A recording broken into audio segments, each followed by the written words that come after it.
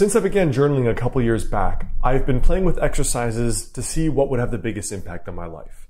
And in this video, I thought I would share two exercises that are not these simple, logical, here are my goals, this is my to-do list for today, but rather these are goals that more fall along the lines of the inner path of trusting yourself, trying to figure out what kind of life you want to live, and going deep.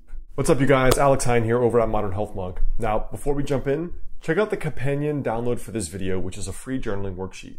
It's going to help you figure out how to get your life together, how to figure out what you want, and how to figure out a plan to make that happen. So it's the first link right below this video. And if you download it, you're also going to get maybe two emails a week on how to use journaling to design your dream life and how I did that. Now, the first journaling exercise is called Suzy's Resonance Radar. So in case you guys are not following her, there's a woman named Suzy Batiz that is the founder of the company Poo-Pourri, like the bathroom spray you spray in your toilet. Suzy's story is very interesting because she talks about someone who had attempted suicide, had been married multiple times, and then eventually her business went bankrupt. I think she was maybe her late 30s or early 40s, and then ultimately concluded that she was the worst entrepreneur that ever existed. And after spending a few years healing, she decided she was never going to be an entrepreneur again. She was only going to commit her life to whatever made her feel alive internally. Go figure, the next business she built was Poo-Pourri, and now she's one of Forbes' richest women. But what is fascinating is not that part of the story. What is fascinating to me is the way she lives her life. And I joined one of her programs and also spoke to her personally for a call. And one of the things that she said in her program was that these days, the only thing that dictates her life is whether things feel resonant or dissonant. The resonant side is all about tracking the things that light you up and the things that make you feel an increase in energy. So these are the things that if you had a hundred million dollars, you would wake up and just do that every day. Maybe you sleep in, you go to a coffee shop, you read a book, there's a certain kind of work that you would do regardless of the money, etc. But in this exercise, what I do every day is I actually sit down and write down everything on my list for the day. And all I do is write down do I want to be doing this? Right? I put a check mark or an X, and it purely is questioning what am I really excited about? In other words, if right now I could take the day off, what do I actually want to be doing in every moment? And I found this was really, really, really interesting because number one, very quickly you learn whether or not your work is something you actually want to be doing or not.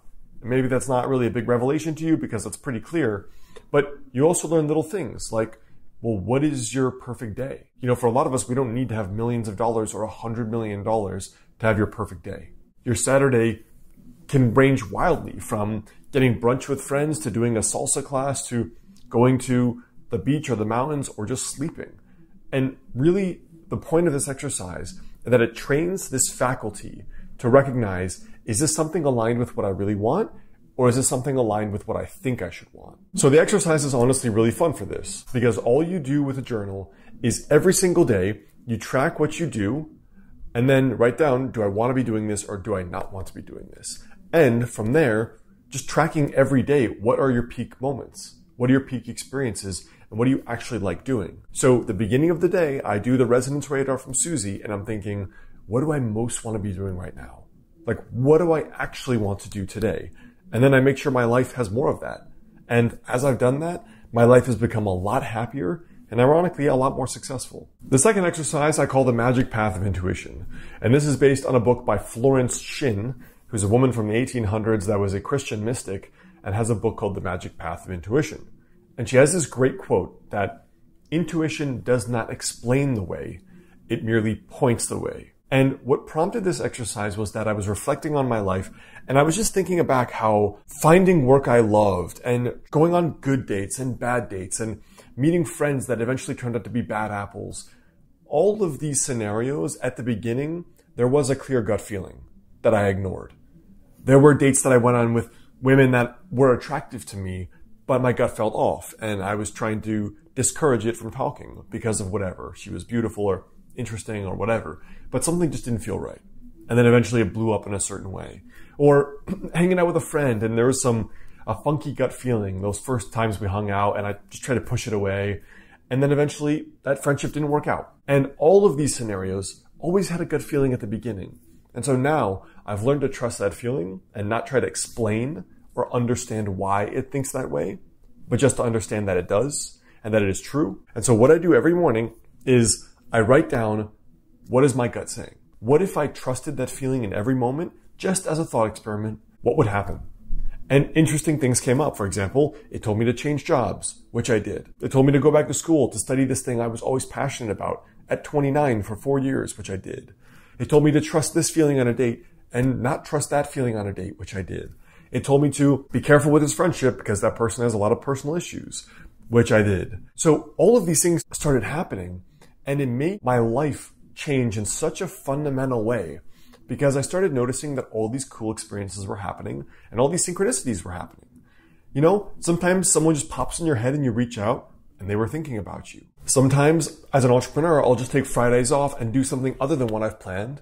And I'll have found a really, really fun or fulfilling ritual that I want to do on Fridays now instead of what I normally had planned. Or sometimes I just meet someone, I'm like, oh, that would be cool. We have a lot in common, but I don't know.